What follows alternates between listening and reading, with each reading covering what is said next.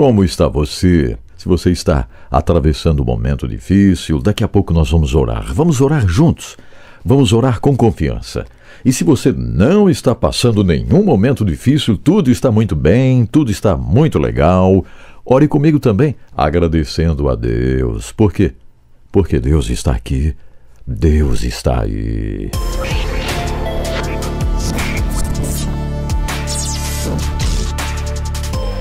Falei para vocês que nós precisaríamos pelo menos duas edições do H11 para falarmos sobre esse texto tão incrível de Jeremias 17 e verso 10. Talvez agora você já tenha lido este verso, já pensou um pouquinho sobre ele, né? Olha aqui, ó. Eu sou o Senhor que sonda o coração e examina a mente para recompensar a cada um de acordo com a sua conduta, de acordo com as suas obras. Texto espetacular este de Jeremias 17, 10. Falei para vocês? Deus mergulhando em uma grande piscina que é o nosso coração para sondar. Ele conhece tudo, né? Como disse João Ferreira de Almeida, esquadrinhar ele conhece o desejo de seu coração e ele terá prazer em abençoar você, ajudar você. Deus está dizendo hoje: vem cá, minha filha, eu quero ajudar você, eu vou cumprir isso na sua vida. Você vai ver, daqui a pouco você vai celebrar. Deus conhece, não se engane, Deus conhece. Eu lembro, era 2004, aconteceu o terrível tsunami no Sudeste Asiático. Aquilo mexeu muito comigo porque eu estava trabalhando em uma rádio nos Estados Unidos e tinha que noticiar aquilo e fazer matérias especiais sobre aquilo. E realmente mexeu muito comigo. Foram milhares e milhares de mortos na Indonésia, Banda Aceh, na Tailândia também, no Sri Lanka. E um dia veio uma revista Time Lá embaixo, uma pequena foto no rodapé na revista Time. Era uma foto que mostrava uma destruição total no Sri Lanka. E tinha uma legenda na foto. Foto pequena, dizia milagre. Eu olhei aquela foto, estranhei, mas milagre, tudo está derrubado, tudo caído. Uma igreja estava totalmente destruída, acabada. Mas a foto dizia milagre. Eu li a pequena matéria, uma pequena matéria. E a matéria dizia que o pastor daquela igreja tinha convidado toda a sua comunidade para um retiro de oração. Em tal dia, hum, vamos fazer um retiro de oração em uma colina, vamos passar o dia em oração. Todos são convidados. E eles foram, subiram a colina muito cedo para passarem horas e horas em oração. E foi exatamente naquele período em que eles estavam lá na colina que o tsunami veio e arrasou o Sudeste Asiático, inclusive derrubou completamente aquela igreja e devastou aquela comunidade inteira. Foram milhares de mortos. Quando o pastor e os membros de sua comunidade desceram da colina, eles não puderam acreditar no que havia acontecido. Não existia mais a sua comunidade. Tudo estava derrubado. Milhares de pessoas mortas. O templo estava completamente destruído, tudo destruído.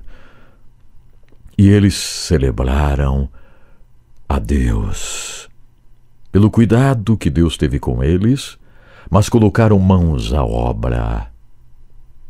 Eles, aquela comunidade sobrevivente, ofereceu-se ao governo local para enterrar os mortos, para ajudar a enterrar os mortos.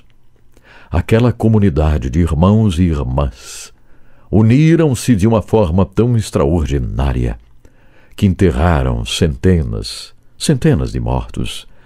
E mais tarde, construíram casas e muitas casas para aqueles que tinham perdido as suas casas. E naquele dia que eu vi esta matéria na revista Time, no meu coração. Só no meu coração. Eu não falei para ninguém. Não falei para ninguém de minha família, não falei para ninguém na rádio, não falei para ninguém. No meu coração eu disse: um dia eu gostaria de encontrar esse pastor. Eu gostaria. No meu coração. No ano 2011, veja só, isso foi em 2004, início de 2005. No ano 2011, eu estava no Sudeste Asiático eu estava em Singapura, num evento muito importante do Transform World, e eu embarquei em um ônibus em Singapura. E sentei-me ao lado de uma pessoa que estava ali no ônibus. E eu estava com meu gravador, comecei a conversar um pouco com a pessoa, ele falava inglês, e eu perguntei de onde você é, e ele disse do Sri Lanka.